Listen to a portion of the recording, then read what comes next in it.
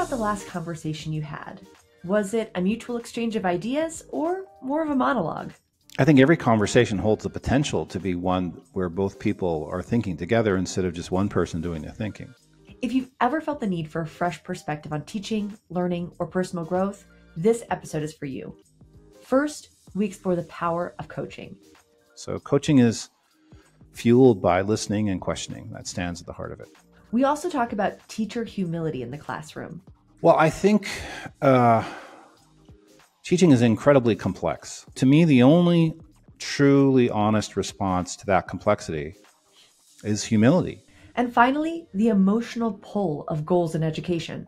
The motivation comes from a discrepancy between where I where I am and where I want to be. Welcome to the School Leaders Project, a podcast series dedicated to helping school leaders make positive changes in their schools and communities. In every episode, we talk to extraordinary thinkers and doers about their experiences and experiments with teaching and learning. The School Leaders Project is an initiative by Toddle, your all in one teaching and learning platform made for teachers and by teachers. Toddle offers a truly comprehensive experience, so all that big picture unit planning you're doing flows seamlessly into day to day instruction, assessment, reporting, and even parent communications. We started as a passion project in a school that thought that teaching tech should be as cool as teaching teams, and we're now loved by more than 1,500 progressive K 12 schools all around the world.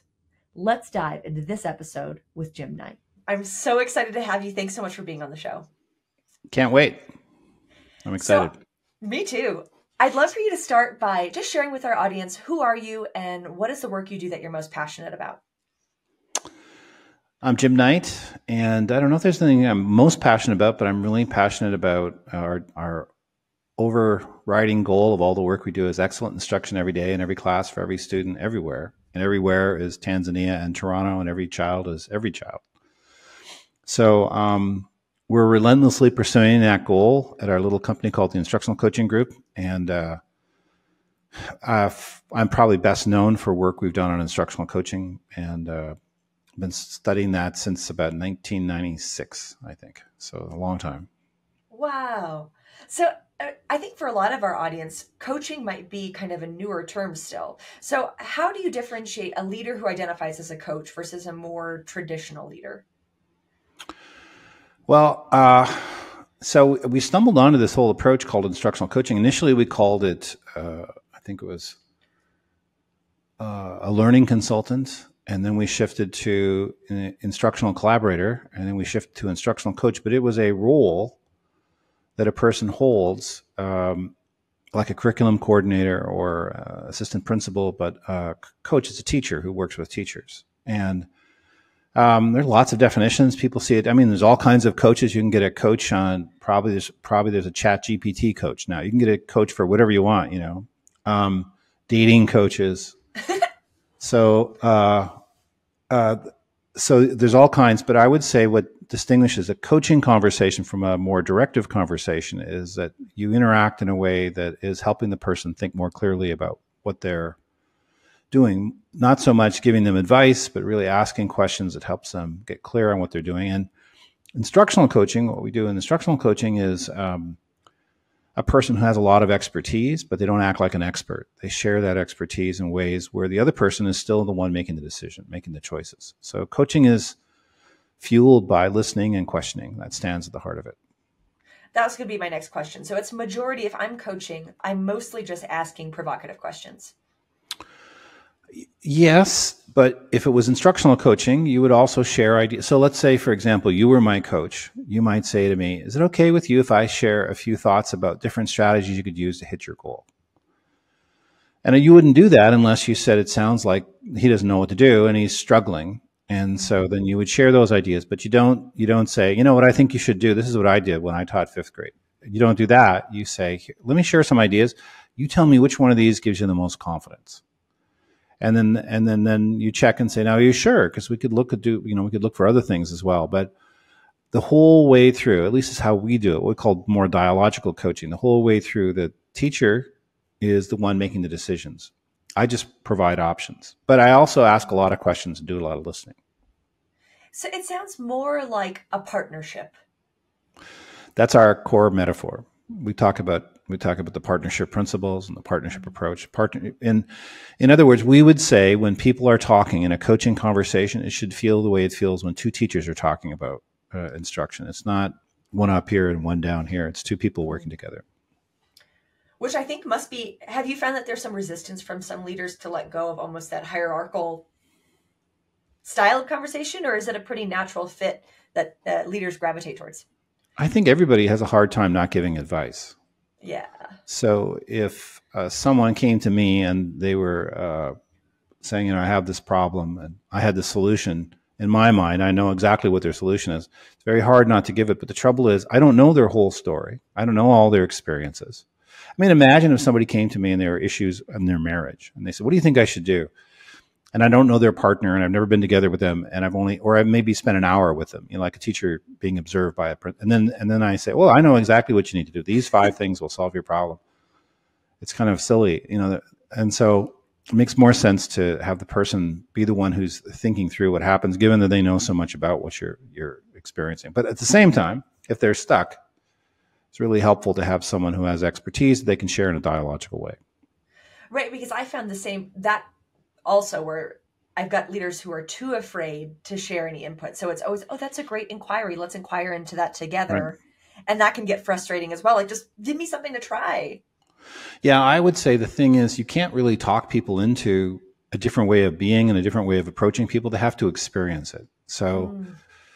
for example, instead of going right to saying, well, here's what I think you should do, you could say to the teacher, um, you've probably thought a lot about this what are you thinking you might do? And then they might say exactly what you're planning to tell them. And, and if they come up blank, then you can say, well, if it's all right with you, how about you share some things? You tell me which one do you think would work best, you know? That's that's the way. So I think if te- if uh, whoever it is, coaches or administrators or whatever their role might be, if they take a coaching approach and they try to, as Michael Bungay Stanier says, ask more and tell less, be more curious. Another one of his mantras. Um, they might see that actually this works. It's more effective and the person owns the solution. If I tell the person, here's what you should do, then I own the solution. And then there's a real chance they'll come back and say, hey, I did that thing you said it didn't work mm. because they don't own it. But if they own the solution, there's a better chance that they'll they'll go the distance. One word I love that you use there in your modeling of a coaching conversation is might. I feel like you use the word might often, right. and might to me offer offers like so many possibilities instead of shutting a conversation down? Well, I think uh, teaching is incredibly complex. Mm-hmm. And, uh, you know, when they talk about complexity in science, they talk about parenting as a complex job. Well, if raising one child is complex, how complex is 30 or 40 or 25 or whatever you've got in your classroom? It's incredibly complex. And so to me, the only truly honest response to that complexity is humility to say, I don't know if this will work. I think if we work together, we'll get there, but here are some choices. What do you think? Do you want to try these things out? To think that there's just a solution and we just do it this way. And the other thing is, people always do things their own way, they never do it sort of by the book. Even people who use scripts will teach it differently. So, um, so I think the humble response is, is the authentic response. It's kind of how I put it. So you've kind of touched on this, but I'm wondering how do you begin to form those partnership relationships? How do you shift that, the way that we interact in that mindset coming into those conversations? So you mean like an administrator? Yeah. They... Well, I think um, I think every conversation holds the potential to be one where both people are thinking together instead of just one person doing the thinking. So you can always, I think, I think to become more coach-like there's a great book by John Campbell and Christian Van Nieuwerburgh about leaders as coaches. I think that's a good place to start. But I think you you and also Michael Bungay Stanier's book, The Coaching Habit, would be another really good starting point. So those two books uh, are great ones. There's lots of them, but those two really, I think, if you're if you're trying to take on a more coach coaching kind of approach, I think that's a good start. But I think. Um, I think you you you need to think about which questions are the most effective. I mean, the two things that make coaching really run are the way you ask questions and the way you listen. And those are skills. Just like learning how to skate is a skill. Anybody can learn how to do it if they have a mobile body. They can learn how to skate, and anybody can learn how to listen better and ask more more effective questions. It's about developing a list of questions you work from and trying them out and see which ones work with you. And then same thing with listening. But the easiest way to accelerate your skills in both those things, questioning and listening, is to video record your conversations, go back and look at it and see what you see which is intimidating. That's it, we'll get to better conversations in a bit, but that's a big piece I took away from that book is taking that opportunity to record yourself and watch it. Why do you think it's so powerful for people to do that? Well, I think people don't have a clear picture of reality. They don't know what it looks like when they do what they do, and uh, um, and so video cuts through that. And there's a whole bunch of reasons: perceptual errors, things like confirmation bias, habituation, um, any kind of self-serving bias. We tend to see the world in colored ways, first off, but then secondly, we have defense mechanisms wired into our system. It's not everybody does it. Everybody minimizes the problem or blames some kind of external factor or you know. So because of defense mechanisms and um, perceptual errors, we just don't see things really clearly. And so video cuts through that. Video gives us a clear picture. There's a reason why every, you know, every athlete over 12 watches themselves on video pretty much. You know, there's probably in the United States, there's probably not a football team that doesn't watch themselves on video from middle school on up because video reveals reality for, for you and it helps you see progress and growth. And until you look at video, um, you probably don't know what's happening. And the other thing about video is uh, the reason why it's difficult. Well, part of it is just, you know, uh, no one ever looks at it and says, I'm younger and thinner than I thought. Nobody ever likes that. But I look amazing. Other, but the other thing is, I think, um, you know, we have these defense mechanisms to kind of protect our efficacy. And then, and, and video is going to cut through that. And so we're going to see kind of in its rude reality what life really looks like. And sometimes that's hard to take. And then we tend to be really hard on ourselves when we look at it. So that, that's a big amount. But, if you want to get better, you have to know what it looks like now. If you don't have a clear picture of where you are and where reality is, you could spend a lot of time working on exactly the wrong things. So you need to get a clear picture of reality. And whether it's in, in coaching or whatever it is, you're, you're going to really accelerate your growth if you're, if you're getting a clear picture of what you're doing. So, do you suggest if I'm a coach observing a lesson that I record the lesson I'm observing as well, or just the feedback conversation after? For you to improve? or for, for the teacher to, to improve. Yeah. Well, I think it's really helpful for teachers to be the ones who uh, interpret what's happening in the classroom. And so video provides a way for them to do that. Instead of you showing up with an observation form and saying, here's what you did right and here's what you did wrong, to have the teacher analyze their own class with, with the form and then sit down and talk to you after watching video. But at the same time, video is emotionally complex. Teaching is emotionally complex. And so I'm hesitant to say you have to do it. I think it's a choice. It's a power tool for learning. And if people don't want to do it, they, they shouldn't. But for us, you know, our catchphrase is video is like rocket fuel for learning. When you uh-huh. when you see it, you're like, oh, that's got to change. You know, and you can use it in all kinds of ways. Then in terms of in terms of coaching, I mean, you would use video to look at what you want to improve. And so if you want to become a better listener, you would record yourself doing questions. If you want to get better explanations, you would record yourself doing that. Whatever whatever thing you want to look at, that's what you would look. Whatever thing you want to improve, that's what you would look at. I think this is clever because I don't know if you've experienced this, but when I was an administrator, I thought I had the administrator's curse, which is whenever I walked into the classroom, things would just fall apart. You know, mm. the energy changes. So I could see video being a great tool for the teacher has ownership and agency over it. They choose when and how they record. They choose if they want to scrap that recording and try again it might be a way to make that classroom observation way less intimidating. Right. I think if the teacher agrees, it would be really helpful for you to be able to see the video too. Um, right.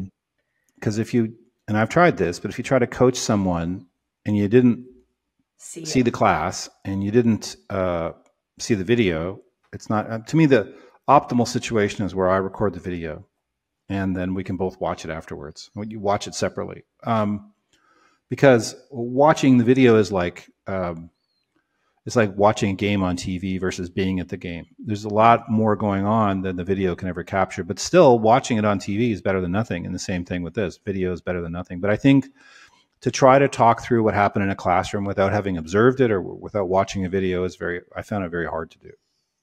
Mm, very good to know. I'm curious, Jim, about your impact cycle. Can you tell us a little bit about the impact cycle? Sure. I love these questions. So, the impact cycle for us, it's a product of about 10 years of research. We kept, we used the process of re- research called lean design research, where we, uh, it's kind of like the design cycle, sort of put together this book, The Lean Startup, plus the design cycle. And we kept going through iterations trying to improve what we were doing. And after a lot of continuous improvements, um, refinements, we landed on this sort of universal model for change. It's pretty straightforward. So the first part is called identify. And in the identify stage, we identify a clear picture of reality. Then we identify a goal. And then we identify a strategy to hit the goal. And the strategy is kind of like a pathway to our goal. It builds hope. And at the end of the identify stage, after we've looked at reality, we set a goal, we've identified a strategy, the teacher has a goal they deeply care about hitting, emotionally compelling goal, and they have something they're going to try to take them to the goal. Then the next stage is learn. And in the learning stage, we help the teacher get ready to implement the strategy. That often means we share a, a, checklist, but the checklist is shared dialogically. We don't say this is the way it has to be. It becomes mm-hmm. a third point for conversation. So I said, let's go through this thing and see what we think. And if you want to do it this way, you want to change it, but this could be a starting point. And then we give the teacher a chance to see it somehow. Maybe I go in the classroom, maybe we watch another teacher, maybe we look at a video, maybe we co-teach. Maybe we don't need to do that. But often it's if somebody's really keen to hit a goal and they're going to try a strategy, they're often going to say, you know, help me if I could see this, if I could see somebody doing it. And so at the end of the learning stage, you have a person who's ready to implement. And then the third stage is the improve stage. And in the improvement stage, what happens is um, first thing you try probably doesn't work. And so uh, you get all excited and you go through the checklist and you try it out and there's no change. You know, you change your questioning, kids are just exactly as unresponsive as they were before. And so then you have to make adaptations. And so the improvement stage is making modifications. And there's only a few things you can do. You can change the strategy, you can change how you teach the strategy, you can change the goal, you can change how you measure progress towards the goal, or you can just wait. But you're going to have to do some adaptations. And, you know, with complex situations, you need to have adaptive models anyway. So the adaptation adaptations take place in the improve. And when when you've made those adaptations, you should finally get to a place where um, you've hit the goal. You know, mm. the, and uh, by making modifications, you get to the goal. But we've used it in education, but now it's been adopted. Uh, we did some studies with um, uh, Harvard on um, surgeons using the impact cycle, and now we've worked with the Royal College of Surgeons on um, positive health coaches using the impact cycle, and we feel it's a universal cycle. We say, you know, what's our goal? Let's get ready let's make changes until we hit the goal. That's kind of the process. How cool. Well, and how cool when you hit on something that's so resonant and transfers beyond your own discipline. Mm, yeah. And well, it's great to learn by stepping out of your discipline. So, yes. Okay, I'm going to ask you a few more detailed questions about this cycle. So, All right. the, the first word you said that really resonated with me was this idea of emotionally compelling goals. Right. So, how do we help teachers to identify emotionally compelling goals? Well, the first thing is um, they get a clear picture of reality. If they don't have a clear picture of reality, there's a really good because motivation, according to Miller and Rollnick, uh, in a thing called motivational interviewing, which is a great approach to therapy, they say motivation comes from a discrepancy between where I where I am and where I want to be. So I would like to run the Boston Marathon. I'd like to qualify for the Boston Marathon. Right now, I couldn't do the Boston 5K, but I, I would like to do that. That's a goal I have. So I know where I am and I know where I need to get to and I know the changes that have to take place. And then if I can have a pathway to the goal, that's that's going to help me. So first thing is that people have a clear picture of reality. The second thing is that that we use powerful questions to help them identify the thing they want to work on the most. And you even ask the question, you know, if you could hit this goal, do you really care about it? Does it matter? And what you want is you want you want the thing they think about when they drive home. So you ask questions like, so on a scale of one to 10, how close was that to an ideal class? And what would it take to move it closer to a 10? And do you want that to be a goal? And would you really care about that if that was your goal? Well, well then how would you measure it? And so you, they're the ones making all the decisions, but by having, you know, over time, we revised our questions over that 10 years of research and we landed on this set. Now, it's not that you ask them in sequence and it's different every time and you adapt to the situation, but there are powerful questions that put the ball in the other person's court and give them a chance to do the work. Which book is this in that has the, the set of questions? Well, it's in a few different ones in the Impact Cycle or in the Definitive Guide to Instructional Coaching. The the humble title, the Definitive Guide to Instructional Coaching, but um, but it's probably best in that book. That's probably where okay. they're the, the, most recent version. And also our website, instructionalcoaching.com, there's a blog. And if you poke around on the blog, you can find it there for free for sure. And there's uh, videos about the impact cycle and many of the things we talk about. Cool. Yeah, I'm going to be doing some goal setting with the school. And I've got a list of questions, but I think that intentionality piece is what I really want to focus on is what do you care about? What is what is something that's going to wake you up every morning excited to teach? And so so what that time. What are your questions? Oh gosh, I don't have my document open. That's okay. um, I think most of mine center on that concept of intentionality, though, of just like right. What is it that you care about? What what are the things that would make you feel more confident as an educator? So I would say you want to ask the way we would do it, what we learned. See, I was just just almost uh, shifting into giving you advice, but um, the first thing I'd say is you want to ask questions that, uh, as we do it, we've discovered, that give control over to the other person. And then we want to ask questions um, that are solution focused, not problem focused. Okay. And so a problem focused question is, um, you know, what's going to get in the way of you hitting this goal? And a solution, or what's not happening in your class? You know, what are you disappointed about? And a solution focused goal question would be, and this is kind of a famous, this is kind of a weird question, but I love this question. It's, um, so if a miracle happened and you woke up tomorrow and everything was going the way you wanted to go with this class, what would it look like and what would be different? I like that. If you could wave so a magic that, wand. yeah, that was the same thing. And yeah. and that question, it's a solution focused question and it puts give them a chance to describe what they want. And then they'll say, Wow, well, there's quite a few things that would be different you know the kids would not be disruptive and uh, i think the conversations in class i'd find them energizing or whatever and so so that questions that give them control questions that give them power power and then you shift from more open questions to more focused questions uh, where they can you know start to identify the strategy they're going to like that question you've probably thought a lot about this what do you think you might do that helps them identify the strategies without you having to say here's what you should do Awesome. I'm going to add the wave of magic wand. I think that's a really okay. cool warm up. All right. I'll let you know how it goes. So that takes you to the next. So I've set a goal. I set a goal that I really care about and that really fires me up. Right.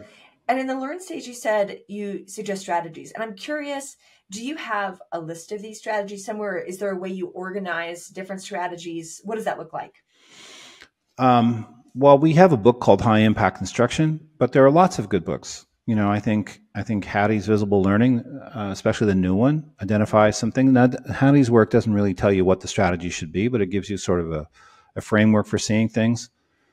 Uh, Bryan Goodwin's uh, for comprehensive books, Bryan Goodwin's book, um, classroom instru- the, the, new classroom instruction that works, which is kind of a revision of Marzano's work, and uh, those kind of books give you a big picture, but then there are more specific things you might do. It could be Carol Tomlinson's work on differentiated instruction, or any number of different things. Julie Stern's work on uh, really getting into what kids are supposed to learn and, and how they're going to learn. Uh, so there's lots of different ways in every play. It could be it could be you've got material on formative assessment or community building or classroom discussion or small group activities. So there's comprehensive books like my book and like the other books I mentioned, but then there's uh, other stuff that's out there. But we say you need to create a playbook, and your playbook identifies these are our 15 to 20 top strategies. When we work with teachers, mm. the most common goals seem to be here, and these seem to be our best bet for how to address those things. And so we build this playbook over time, and the playbook has uh, a list of the strategies, maybe 15 to 20 strategies on one page. And then it has what we call one pagers, and the one pagers say, this is what the research says, and this is how it's used by teachers. This is how it's used by students. Here's summing up the thing in just a couple bullet points. This is this is the heart of the matter, and you can read the one pager and go, okay, I like this or I don't like this, and then and there's checklists. The checklists are not about uh, being reductionist. The checklists are just to help it be clear when you explain things. And you say to the teacher, like, somebody wrote this checklist, but you may want to change it. So let's go through it and see what you want to do. And let's say the teacher says, you know what I'd like to do? I'd like to butcher it. I'd like to do it in a way that nobody would think is going to work. Is that okay with you? Can we just can we just like screw it up completely? I would say, well, I wouldn't do it that way for these reasons. But you know your kids better than me. You know your teaching style. We have a goal Let's see if it hits the goal. If it hits the goal, great. And if it doesn't, we'll come back and we'll make adjustments. So you don't have to be the fidelity police. You don't have to go in there and tell them what to do. You let them choose and you let the the goal becomes and a goal they care about, the goal becomes an objective standard of excellence. So that's kind of kind of how the whole process works. But uh, I was riding on a plane, I ended up sitting beside this person who worked for Microsoft, and uh, we started talking about what she did. And um, uh, I said, well, how do you, and she said she goes and she helps people learn how to use software in different organizations. And I said, well, how do you know that they're going to do it when you leave? And she said, uh, well, we create playbooks. And then that day I went, oh, we should create instructional playbooks. And that's where that idea came from. It makes me think of two things. First is that I, th- I would take a curious teacher making mistakes over a bored teacher following a checklist any day of the week. How about you? Well, I think, I think having the goal is the key thing.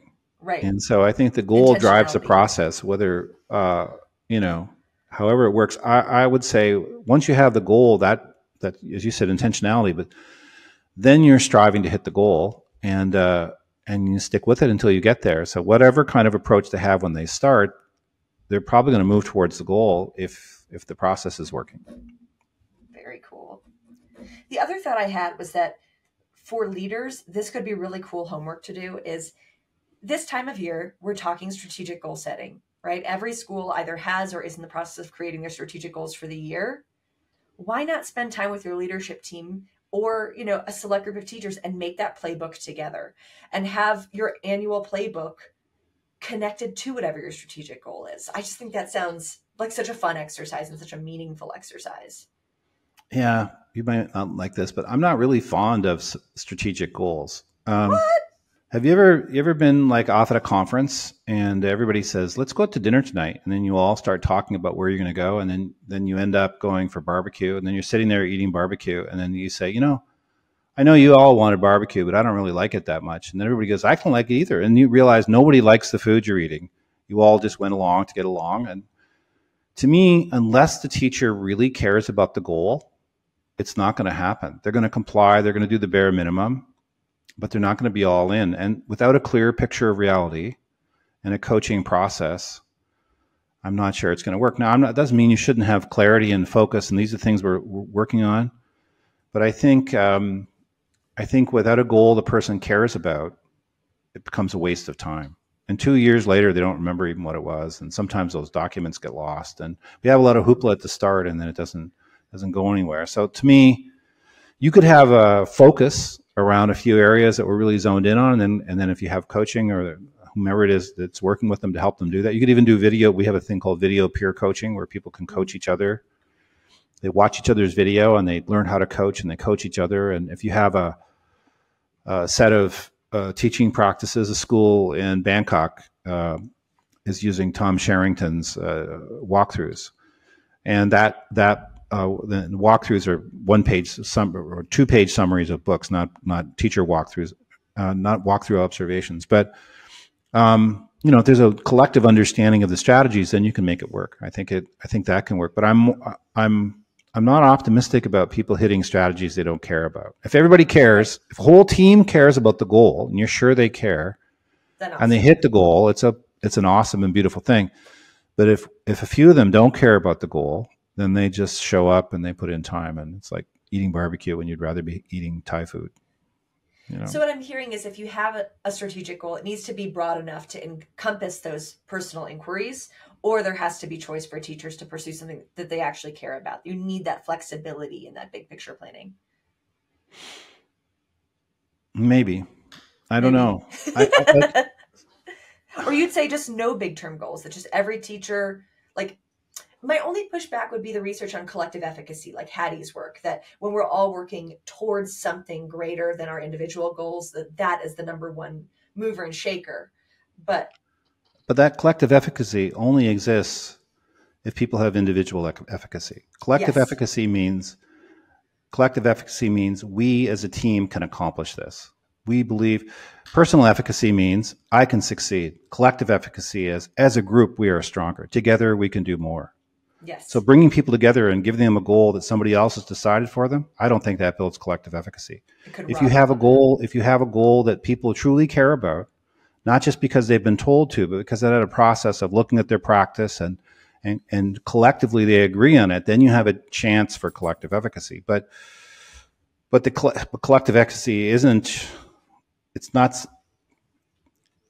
It means everybody everybody collectively believes we can do it together. Right. That's the key, and and so to have the barbecue ex- the, the, barbecue experience doesn't give you collective efficacy. What gives you collective efficacy is when people have change experiences, and over time, what's happened in education, in my experience, is people have have so many things where they just go through the motions because mm-hmm. it's supposed to be something we do, and then nothing comes of it. And then next year they're a little less enthusiastic. A year later they're less enthusiastic, and pretty quickly people say you know, this too shall pass. So I think, I think however you get there, if you have a whole school where everybody says, you know, hitting this goal is really important, it's an emotionally compelling goal to me, and they hit the goal, that's collective efficacy. But if you have a whole bunch of people saying, what is this thing we have to do again? Oh, yeah, I better put something up so the principal can see it. I don't think that's collective efficacy. Smart. Always coming back to that sense of intentionality, a compelling goal that moves us. Right. I love it. And I would say, too, the goal should be a student focused goal, not a teacher focused goal. A teacher focused goal is I want to change my questions. I want to do more small group activities. I want to I want to do more non-linguistic representations or graphic organizers. I want to I want to start the first 5 minutes of my class in a really powerful way every day. I want to identify my success criteria.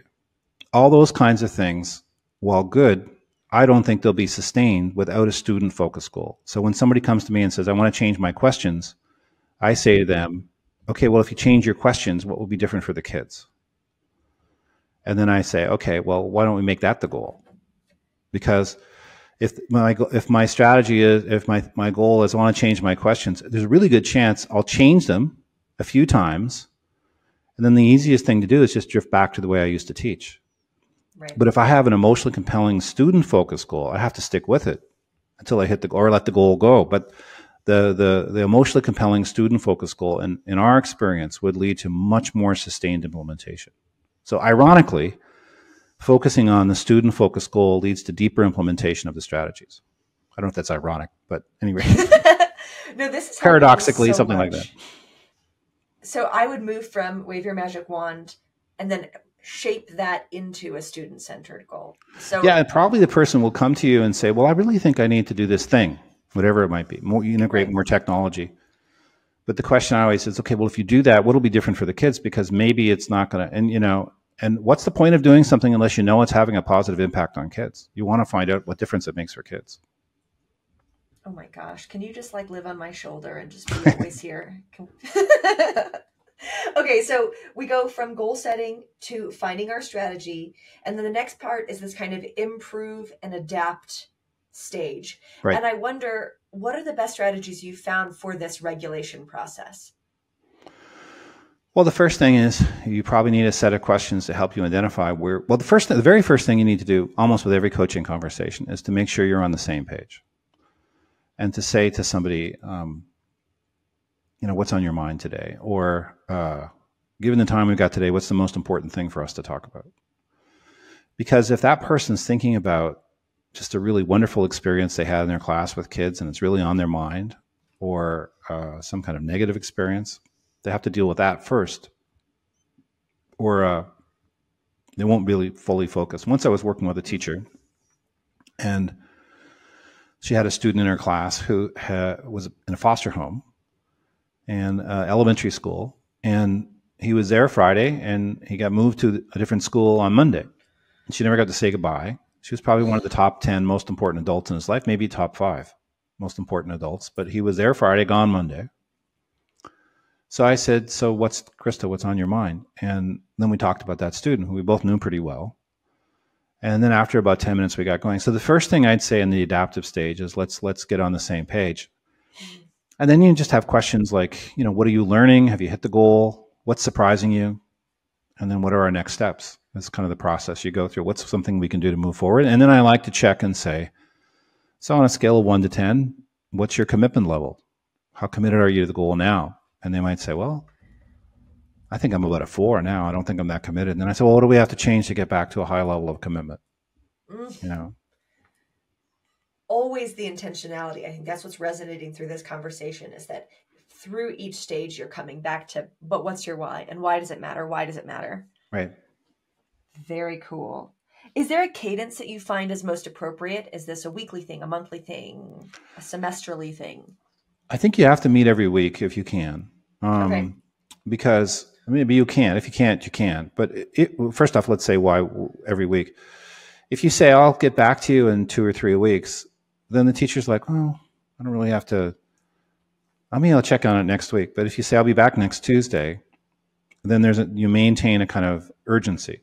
A flow. And, um, and uh, so I say you shouldn't go two weekends without connecting. And, but yet, if you were to meet every day, I don't think there'd be time. And there's a study that I read at Harvard Business Review about about this that if you meet too frequently, there's not enough time for reflection. So you need time in between you try things out, you think about it, but but you keep the you know foot on the pedal, so to speak, keep moving forward. But if you can't meet, then you look for alternative ways of connecting. So whether it's something like WhatsApp or uh, the thing called Marco Polo, a free communication thing where you can do asynchronous uh, conversations.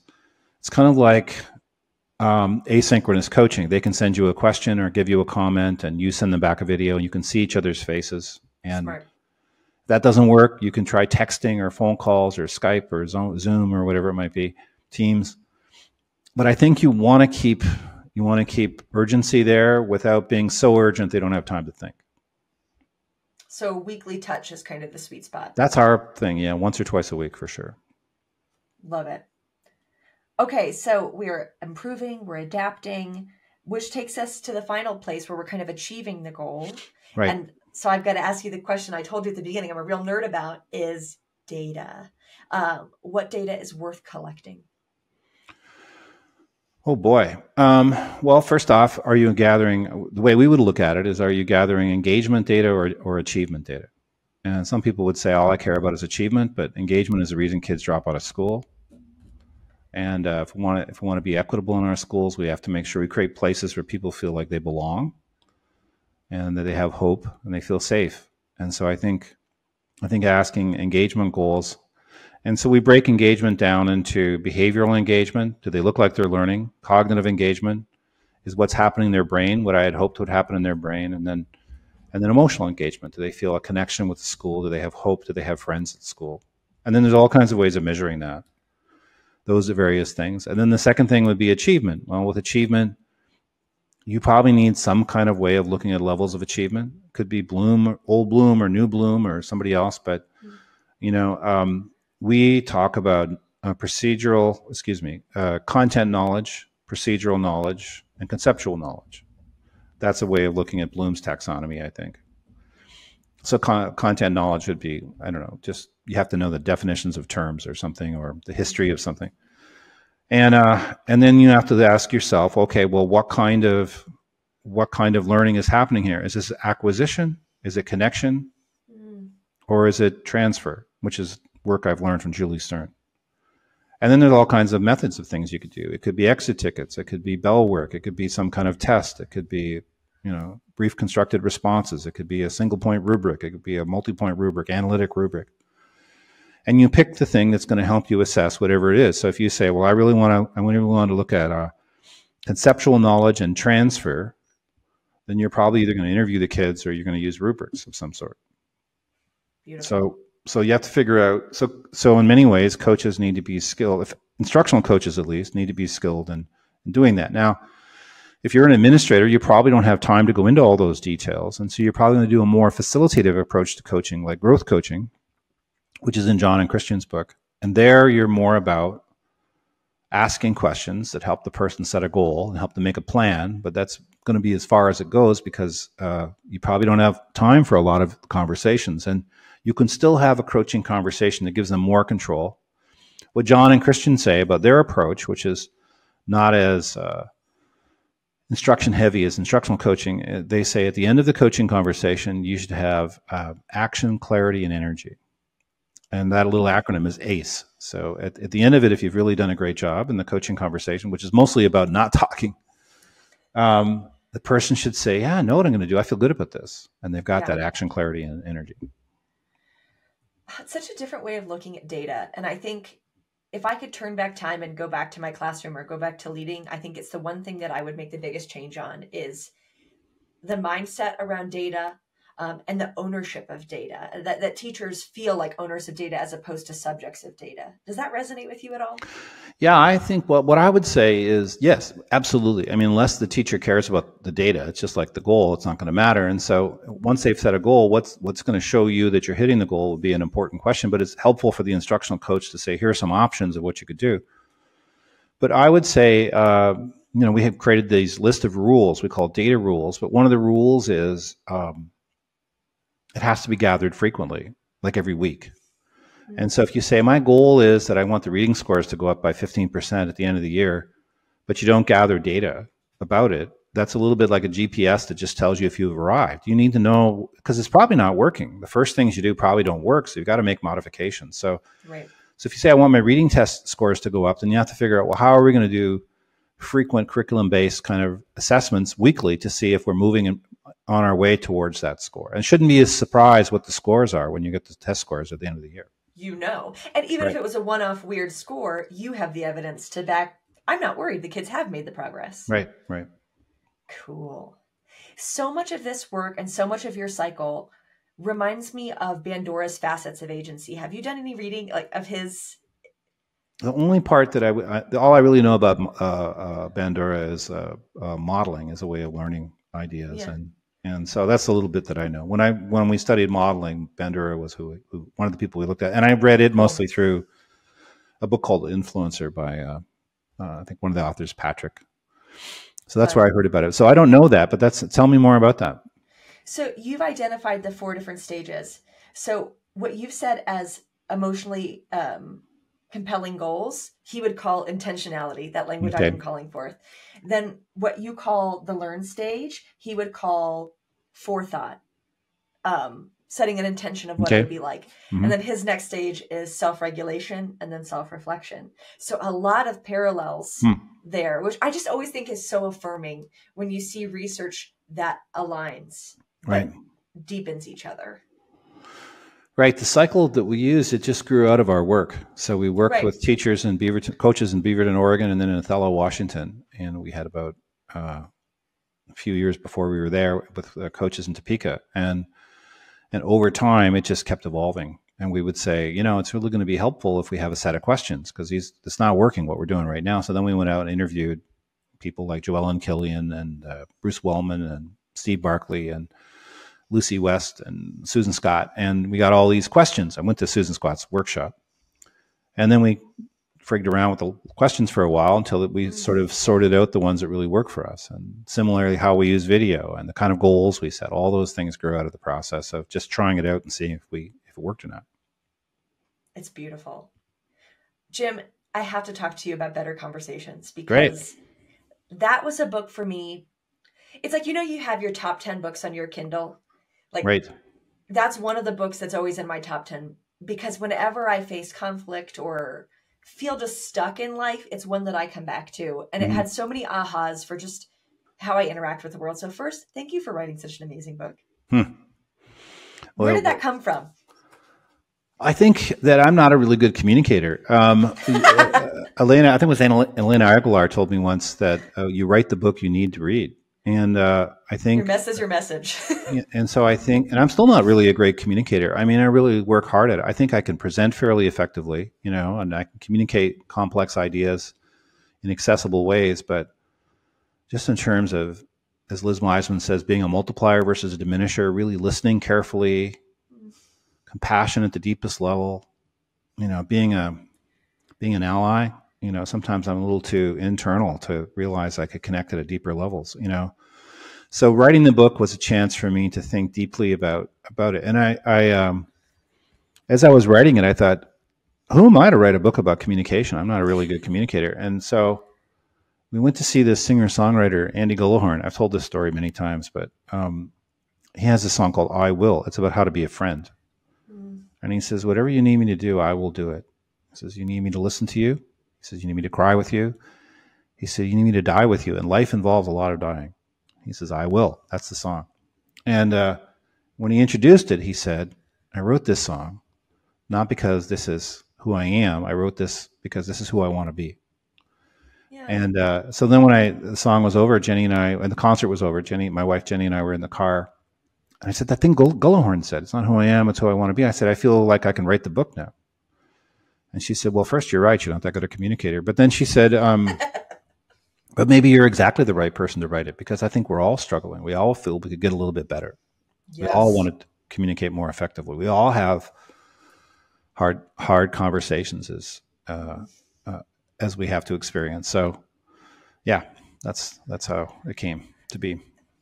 It's an art. Having conversation is an art that I fear is dying. Um, but might I just kind of say some of the ahas that I had from the book? Yeah, I love it. To them a bit. Okay, I've got a few. Take all day. Okay. aha number one, and is this concept of life bringing conversations. Mm-hmm. Uh, and that being the barometer for if you're on the right track with connecting with others has right. just, I come back to that again and again. So tell our audience what's a life bringing conversation? How do you know it? Well, yeah, we might use the term life giving too now. It's as we're it's kind of evolved, but I would say, um, have you ever had a conversation that just sucked the life right out of you? It's the opposite of that. So it's a conversation that brings energy and efficacy and connection sometimes and uh, where you both feel it's a conversation where you say that was time well spent. It's not necessarily a happy conversation. You know, it could be about uh, being an ally for somebody or uh, just listening to them as they talk about what they're going through. But it's where you look at it when you go back and you go, well, that was, you know, I had this amount of time to live and I lived that little bit really well because that was a good thing to do beautiful. To me, it's like it aligns with your values. You can check every box of, you know, I value growth, and this conversation met that. I value value connection, and this mm-hmm. conversation mm-hmm. met that. Love it, and I think it's a cool success criteria for us as leaders. That when I come away from the majority of my conversations, I want them to have been life bringing. Do you think that's a fair metric to hold myself to?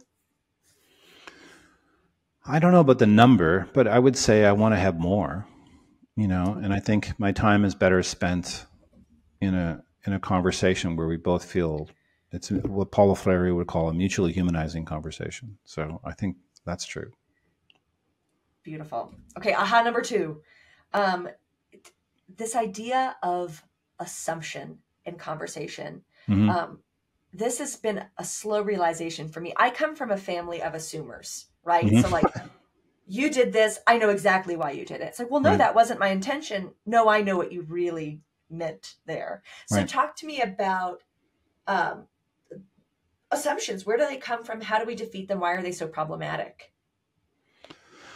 Well, a lot of people have written well about this. Susan Scott's book, uh, Fierce Conversations, really uh, does a good job of talking about how our stories can interfere with communication. Even um, even the book the four agreements is about don't make assumptions because when you make assumptions you you cause a lot of problems but um, i don't think they're helpful uh, because uh, they often are judgmental and judgment is a learning killer it's an it's an it's a it kills connection you know it's an intimacy killer you know right. you're not going to feel close to somebody that is rolling their eyes when you talk and michael fullan says there's a lot of way to roll your eyes that don't involve your eyes so um, so there's that. I think it, they can be judgmental, but it also doesn't help the conversation. There's a book called Connect, and I think the authors are Bradford and Robin. I'm not 100% sure. They're re- researchers at Stanford, but they say in a conver- let's say you and I are having a conflict, and in the conversation, and uh, you can tell me what you observed. You got your data, right? And you can tell me how it affected you. But if you tell me why I did it, then it becomes a problem. And so an effective conversation is about here's what I saw and here's how it's affecting me, not about why you did it. The moment you talk about why I did it, then the conversation becomes an argument about whether or not my interpretation of you is right. And the way they put it is it's like a tennis court. When you play tennis, you have to stay on your side of the net. And when you start to talk about why the person did something or what, what your story is about them or their assumptions, they say you're crossing the net. You have to stay on your side of the net. And your side is here's the data and here's how I experience it. Mm. If our listeners take away anything from today, if this concept doesn't resonate with you yet, this concept of assumption, I think it is worth exploring more because it's a transformative one. Would you agree yeah. with that? Yeah, I think there's well, a lot of good ideas, but I really like Susan Scott's Fierce Conversations as a, a great explanation. If I had to pick one book, I, that would be one I'd probably look at. Beautiful. Okay, another one for me is I realized in your book that I had a problem with gossip. Uh, why does it feel so good to gossip, Jim? Why does it feel so good? Hmm. well, there's a lot of bad things that feel good. You know, I think uh, yeah. why does food have to taste it? Why couldn't healthy food tastes great and unhealthy food tastes crappy, but nonetheless, you know, ice cream tastes pretty good. So um, I don't know. I don't, I don't know what the answer to that is, uh, but I would say here's something about that. I think um, we we make a mistake if we say we are one kind of person. Like I'm a person who who likes gossip. What matters isn't what you've done in the past and it doesn't matter conversations you've had where it feels good. What matters is this conversation right now, this interaction right now. All that matters is this interaction. And maybe yesterday I was a gossip, and maybe tomorrow I'm going to be a gossip. But right now, when I'm talking to this person about their mom and their worries about their mom, I can be present without without and listen and do all the things at work. And and then the more often we can have good moments uh, the better conversations we'll have, the better life we'll have. But right. it's not, we're not one thing. Or, and, and also, I think people tend to define us. Oh, you're this, you're not really a good listener. But yeah, there's been times when I've really listened. There've been times when I haven't. What matters is I just try to have more, I try to get better. Mm-hmm. And if I screw up, tomorrow's another day, you know? So I, I don't think we're one thing. Human beings are very complex. They're not good or bad or this or that. We'd like to have simple little explanations of who the person is. But the truth is, yesterday they were a jerk. Today they're my best friend. It's really it's really complex how people are, and I think we need to extend grace and mercy towards people, recognizing in most cases people are trying to do their best, and their best might not be what we want, but it's that's all they've got right now. You know, so I think. Mm. So I think whether it's gossip or how we listen or whether we judge other people, you know, I think, and you know, you can say you can judge the Kardashians. I'm just not going to judge you. You know. Yeah because judgment feels good too. I have no idea why it feels good to feel. Maybe it puts us up, puts them down, but it feels good. It's just not. It's not good for relationships. It's a quick connection. It's like starting a fire with just like you know things that burn fast and hot, but then there's nothing left. You know, right. there's not that deep, rich ember. Well, they're going to know you, they can't trust you. Exactly what I did, so I was teaching grade five at the time, mm-hmm. and I let my students know I was reading your book, and I told them that one of my goals was to have more genuine and honest connections with people without gossip. So on the big board in my classroom, I wrote the two questions Is it helpful? Is it kind? Hmm. And I found the most often I came back to that was when my learning assistant and I were alone in the classroom, and I'd feel myself starting to, you know, ramp up. Oh, this principal did, and then I would look hmm. at the board. Was it help? Is this helpful? Is this kind? And it was transformative and it's it's changed me. That's like i feel like that's a message that's always kind of in the board of my brain you know? All right. Well we would say you shouldn't judge others but you also shouldn't judge yourself. You know extend mm-hmm. grace to the same kind of grace to yourself that you extend to others. Kristin neff who writes about self-compassion says you have to treat yourself with the same compassion you'd extend to a friend. Treat yourself like someone you like. You know that's the, the idea. Love it. Okay um another aha is my favorite quote from the book, which is Will what I say open up or close down the conversation? So, hmm. can you speak to that quote a little bit? Well, I think um, it's like, is this, con- is this question going to uh, move towards a more humanizing conversation, or is it going to, uh, or is it going to make the person feel unsafe? Or I feel like you're especially in coaching, you're trying to establish alignment with the other person. So part of coaching that means they've got a goal, and now I'm trying to help them get the goal. But um, but I think a, a, a conversation that's judgmental or it's pretty easy to make people feel small. And there's other questions that can make people feel safe. Like that one that's Michael Bungay Stanier's question. You've probably thought a lot about this. What do you think you might do? The beauty of that question is it assumes you've got something valuable to say. It starts with a positive presupposition. And then, and then, and then you'll just hear the person ask questions. Whereas if I said, um, what are you going to do about it? Yeah. What do you, right. Like, why haven't you, you know, why didn't you, why did you take so long uh, on the warm up activity? It was 22 minutes. Why'd you take so long? Well, that's a question that carries with it judgment. And that's right. like, you, you might respond, but you don't really feel great about it. Beautiful. I just have to plug for you that this is the coolest book, the support resources for your website, um, the thinking organizers you provide, even the cool like flow charts at the end of each chapter that are that summarize the thinking. It is just elegant and eloquent and helpful. Hmm. So mm. everybody, better conversations. It should be on your list of books to buy. And there's a free video of it on the website, instructionalcoaching.com. So they don't have to buy the book. They can and they can download all the forms. So there's lots of ways to access it. Amazing. Okay, I've got two final questions. I'm playing around with my final questions. Um, so these are meant to be a little bit fun. Um, you ready for those final? yeah, questions? fun is good. I need more fun in my life, so bring it. That sounds good. On this Thursday afternoon. Okay, um, what Jim was the biggest aha moment of your career? is that all? Um,